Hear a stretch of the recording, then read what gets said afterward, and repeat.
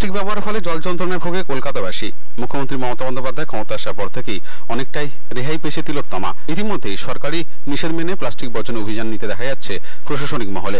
কোথাও পঁচাত্তর মাইক্রনের প্লাস্টিক ব্যাগের উপরে জরিমানা করা হচ্ছে ক্রেতা বিক্রেতাদের। এবার কলকাতা পুরসভার মেয়র পরিষদ সদস্য স্বপন সমাদারের উদ্যোগে কলকাতা নিউ মার্কেট চত্বরে সচেতনতামূলক প্রচার অভিযান চালানো হলো। সঙ্গে ছিলেন বড় চেয়ারম্যান সানা আহমেদ, পুরমাতা প্রিয়াঙ্কা সাহা, প্রাক্তন পুরপিতা গোপাল সাহা সহ অন্যান্যরা। চলতি মাসের এক তারিখ থেকে এই নিয়ম কার্যকর করা হয়েছে। ইতিমধ্যেই বেশ কয়েকটি পুরসভা প্লাস্টিক মুক্ত পুরসভা গড়ে তুলতে পেরেছে। এবার কলকাতা পুরসংস্থা কতটা সাফল্য আনতে পারে সেদিকে তাকিয়ে তিলোত্তমাবাসী। তবে এই নিয়ম না মানলে মার্কেটগুলিতে পুরসভার তরফে অভিযান চালানো হবে ও ক্রেতাকে পঞ্চাশ টাকা এবং বিক্রেতাকে পাঁচশো টাকা পর্যন্ত জরিমানা করা হবে বলে জানান স্বপন সমাদ্দার কেন্দ্রীয় সরকারকে রাজ্য সরকারের সাথে সর্বভারতীয় স্বার্থে এই বিষয়ে উদ্যোগী ও বিকল্প রাস্তা বার করা উচিত বলে মত তার।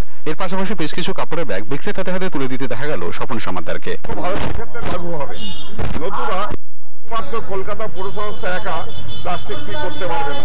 কারণ সর্বভারতীয় ক্ষেত্রে বহু জিনিস আমাদের প্যাকিং করে আসে থার্মোকল দিয়ে আসে প্লাস্টিক করে প্যাকিং করে আসে সেক্ষেত্রে আমরা কি করব তাই সর্বভারতীয় ক্ষেত্রে কেন্দ্রীয় সরকারের উচিত রাজ্য সরকারগুলোর সাথে কথা বলে থার্মোকল, প্লাস্টিক বা ওয়ান ইউজ প্লাস্টিক যেগুলো আছে, সে ব্যাপারে একটা কঠোর আইন তৈরি করা এবং বিকল্প ব্যবস্থা তৈরি করা।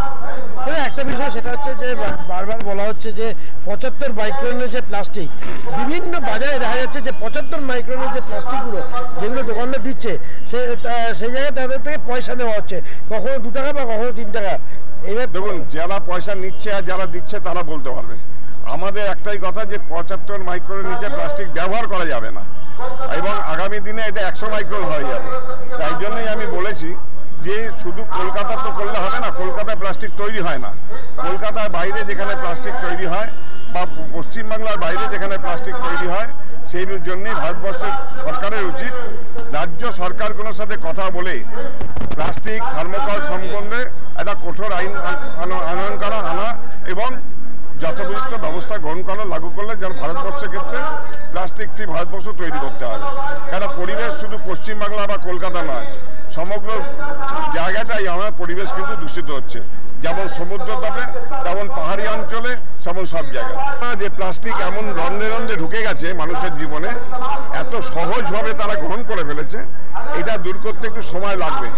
আমরা তাই মানুষকে সচেতন করতে রাস্তায় নেমেছি। আপনারা দেখেছেন, বিগত এক মাস ধরে আমাদের বিভিন্ন বড়োতে কম্পিটিশন হয়েছে, প্রচার হয়েছে। আজকে আমরা নিজেরা পথে নেমেছি। মহানাগরিকের নেতৃত্বে আগামী দিনে বিভিন্ন জায়গায় কলকাতা শহরের বিভিন্ন বাজারে বাজারে সমগ্র কলকাতা জুড়ে এই অভিযান চলবে এবং প্রাথমিকভাবে সচেতন, পরবর্তীকালে আইনানুগ কঠোর ব্যবস্থা। Bureau report channel ten